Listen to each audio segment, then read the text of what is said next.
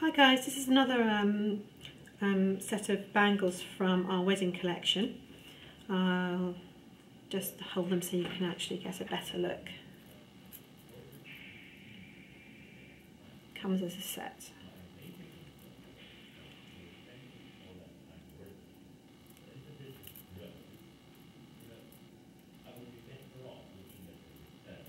Thank you.